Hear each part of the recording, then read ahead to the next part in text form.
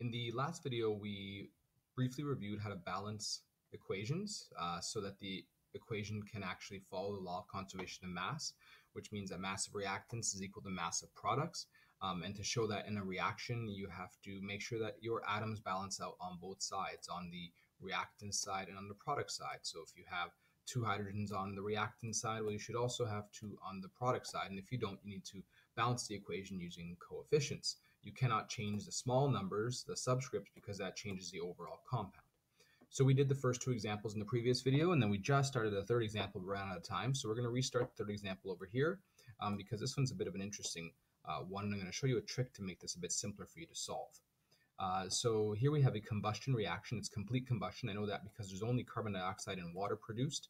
Um, there's no carbon monoxide and there's no soot. Uh, so let's start by counting our atoms. You always start off by counting first because sometimes your equation might already be balanced and you don't have much work to do if you figure that out right away. Uh, so here we have, uh, let's start off with our carbons. On the left side, we have two carbons. On the right side, we have one carbon. Let's go and count our oxygens next because that's the order in which we need to balance. We do our uh, metals, ions, and then our non-metals, and then our oxygens and hydrogens. So oxygen over here, uh, we have two on the left side. Now be careful with the oxygens on the right side. You have two in carbon dioxide, but you also have one in water. So that's a total of uh, three oxygens on the right side. Uh, and then we'll go and we'll balance and we'll uh, count our H's. So for H, we have um, six on the left side, and then just two on the right side. So let's start off by balancing our non-metal, our carbon. We have two on the uh, left side, one on the right side. So we'll put a two in front of carbon dioxide. Um, and let's go and change things right away. So once we do that, we now have two carbons. So carbon is balanced, great.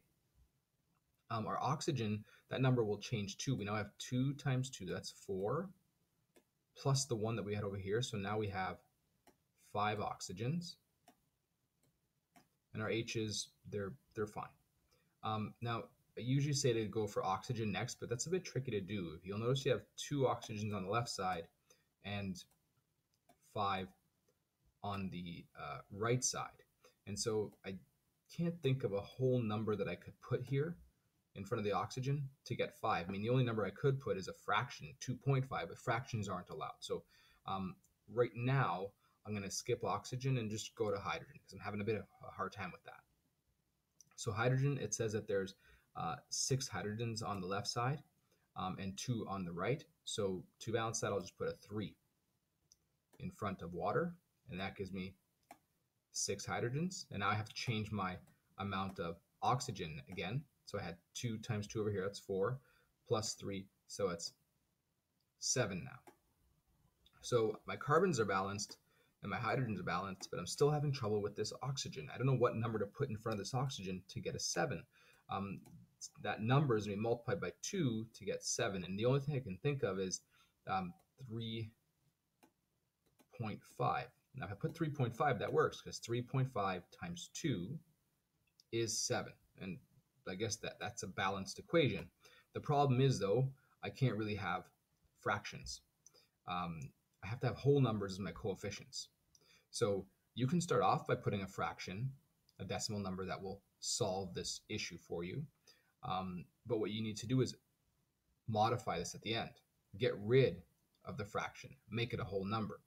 To do that, you can multiply the entire equation, all the coefficients, not subscripts, co coefficients, by 2.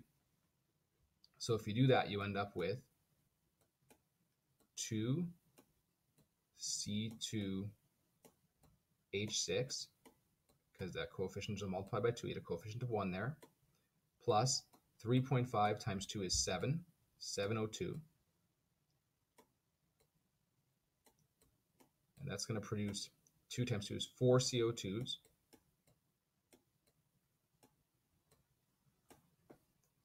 Plus 6 H2Os because 3 times 2 is 6. And then you can go back and count. 2 times 2 carbons,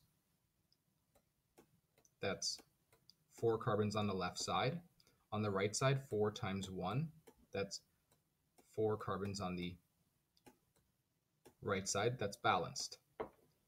Oxygens, 7 times 2 is 14 on the left side. On the right side, we have 4 times 2, which is 8.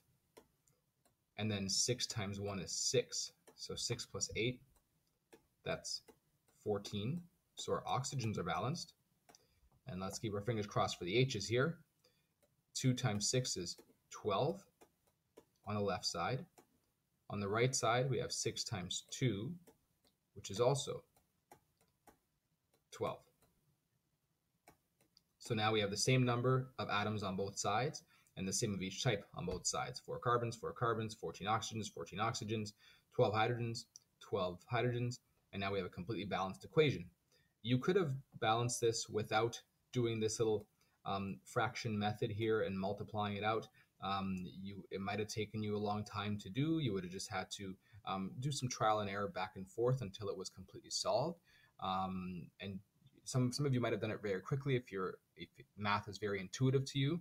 Um, but if it takes you too long, you can always try this fraction method. You'll see it usually um, when it comes to um, certain combustion reaction types. Um, so you basically balance everything but the oxygen, and at the end you put a fraction that when it multiplies by 2 because of the O2 there, will give you a whole number, um, and then you leave your fraction there. Don't make that your final answer. What you need to do is multiply by 2 to get rid of the decimal number. And so that's what we did here. Um, keep in mind that some of these balancing um, problems will have more than one answer. Uh, but what you need to do is you need to provide the simplest ratio. Um, so I'm quickly going to show you what I mean by that. So let's erase this.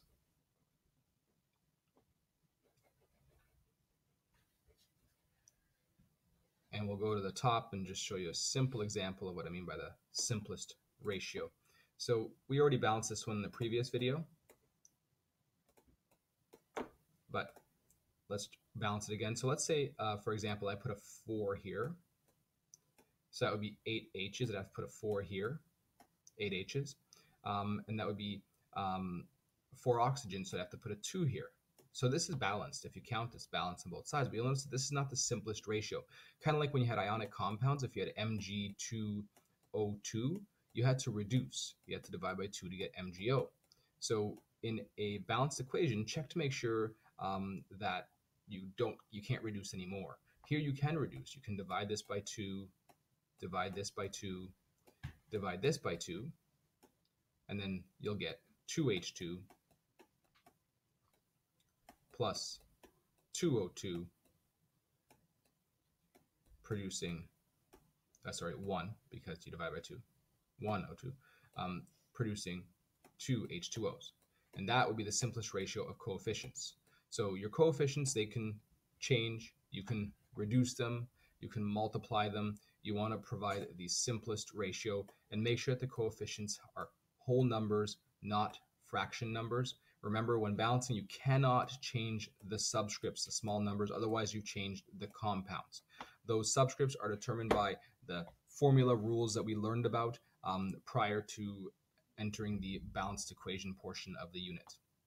So what you should do is practice the problems on the uh, next page. And like I said, you can also uh, search up other videos for balancing equations and other practice problems just by going onto Google um, and researching balancing equation worksheets. And most times they'll even have the answers associated with them. So do as much practice um, as you can and as you need to do to become comfortable with this. The more you do, the quicker you're going to be at solving these problems on tests and quizzes.